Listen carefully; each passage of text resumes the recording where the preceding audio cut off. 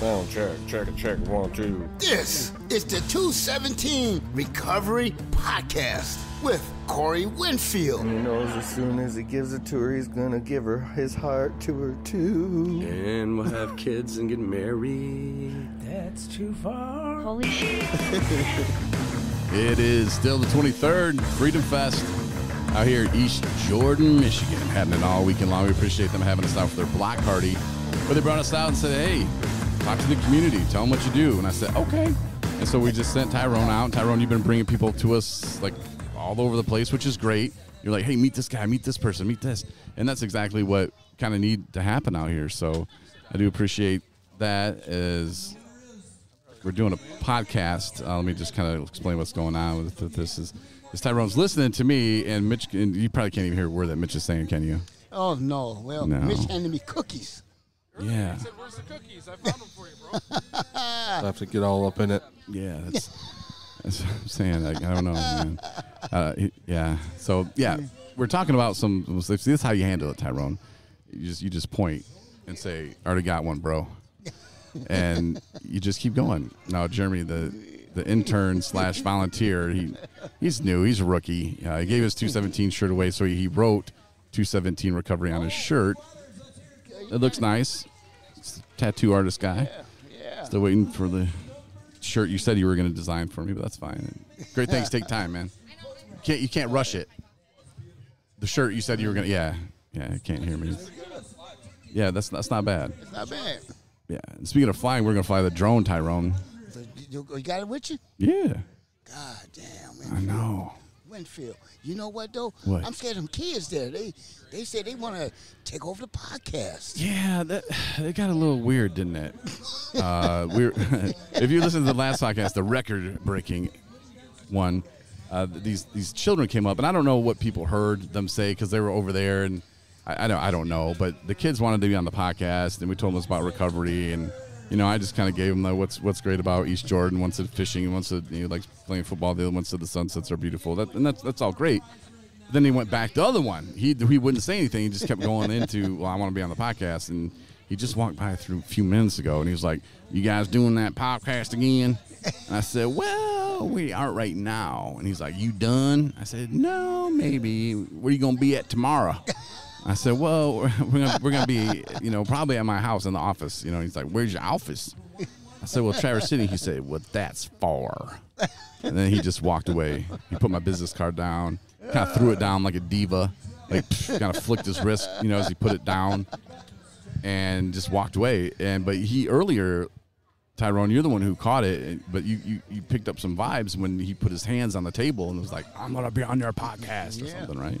I thought he was finna take the mic out your hand there. I know. And see, I didn't even see it coming at the moment he did it, and it's something that you have to process. You know, it's kind of like kind of like recovery. You know, it's just you see things happening, you got to process it and realize is it good for you, is it bad for you. That's right. We see quite a few people out here that are in recovery. Uh, some people they see our 217 recovery table and they come up and it's it's nice to see them come up with this big smile on their face.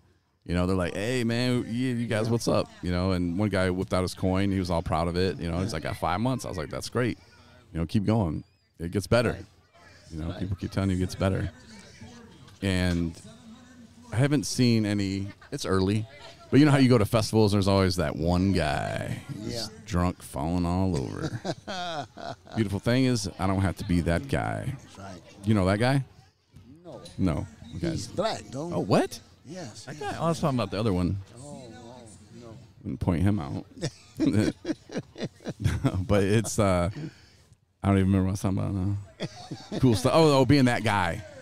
You know, I probably was that guy before in my past, and I know I've seen that that guy quite a bit.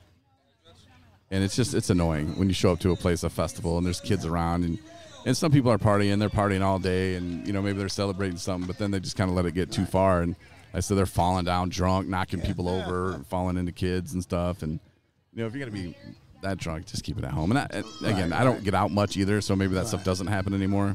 Right, right. But but we glad to have you out here in East Jordan, though, Winfield. It's Yeah. First time, yeah. Yeah, first time doing a broadcast out in East Jordan, I do believe. I don't think we've done one from your house, have we? No. That's a little different. Yeah, right, right, right. But you're out here in East Jordan. This your first trip out here. Yep. And you, you got a pretty good um, turnout. Yeah, and you know, thanks to you for you know going and getting influential people in the neighborhood, you know, and in the city to bring them over, you know. But we're talking with people, letting them know what the 217 Recovery Center is about. And I know you're going to take some flyers over, but they didn't. I mean, I guess you could take those flyers. Did you see them? Yeah, I seen them. Yep, I've been passing them out. Yeah. In your cars there. You got Yeah. about, I think you got about like three more up there. Yeah. I like how Mitch brought the brochures that have his face on it Yeah. and his business cards. I mean, he brought mine too, so that's nice. Yeah, I've been getting them both out. Both them You know who doesn't have cards here? Oh, let me see. Any, any, miny. Oh, you, you looked right at Adam Yeah. Stevens. Uh, I think Adam might have some. I would bet he has at least one in his pocket. But I'm not a betting man, so I don't do that. Uh, Justin Burke. I, I don't see any of his business cards out here. No, I didn't. But he's fabulous. Yes, yes, he is. He's Uh, fabulous. yeah, Fabulous. yeah. So And that's, oh, you we got- got a soccer game going on. Okay, that's cool. Yeah, it's it's it's a good turnout. And it's It gonna, is. It's gonna get even better later. And this is your city. How do you like it, man? How do you like living Uh, here? it's okay. It's a growing city. It's growing. I'm getting to know people here, and And one thing you tell me though is like you see a lot of beer being bought and sold Yes. here, you know, and they're just kind of like, hey, you know, this, this is a place that you guys might want to be. right. But you know, Winfield, you almost have to pull the older people over because they think it's a shame or it's bad to have a nephew, grandson on alcohol. A lot of them don't want to talk about it. That's, Ah. a, that's a hard problem to talk about, you know. And Probably because, and this is me just assuming, but they probably feel like that reflects on them is them failing, like failing at being a parent or something like that, you know? Right. But it's but but you know Winfield, it's you know a, a lot of them don't know what route to go. Right. A lot of them don't know which way to go. But it's a good thing that you came out here and but next year I think we're gonna be in a better spot, you know. Yeah, as far as location where they set us up. Right. Because right. they, they had some people that were supposed to be next to us in front of us and they didn't show up, so I think we, like, by default, will be moved up to a, like a little better location. And and that's fine. I'm just appreciate because like just last week is when I was like, hey, can we come out there? And they're like, Yeah. yeah, absolutely. So, uh, That was cool. Props to East Jordan and the Freedom Festival and Shannon, who, who is the one who I was dealing with over the email, put everything together. You know, big thanks to them. Uh, I don't know if they listen, and if they listen, they, they probably listened to the other episode first, and then they stopped, and they're like, "This is just ridiculous." But that, that's just us having fun in recovery. You know, like obviously the record-breaking goal was something I just made up just to sound cool. You know, I mean, that's where my mind goes sometimes. So if I can do that to keep myself happy all day, that's what I do. right. You know, I'm not a big fan of being hot, and I knew it was going to be hot today. So, how can I combat that? You know, well, I can make something fun in my mind. There you know, and I created a record and I broke it because. I really doubt a There person has go. done what I said I did today. So, there you go. just kind of understand that that's where I'm coming from, and you know, having fun in recovery. That's Right. that's what we do, and that. and maybe the other people can kind of look at that and go, wow, like this guy, he's not afraid to say he's in recovery. Right. You know, like maybe that can help the other people kind of get over that, or maybe it's just a generational thing and it'll just kind of fades its way out. I'm not sure, but that still kind of sucks that it's out there like that, you know. And people do dumb things when they use drugs, Yeah, that's right. and that's just that's facts. right. You know, it doesn't make them bad people. Right. I mean, and not everybody in recovery is a good person either.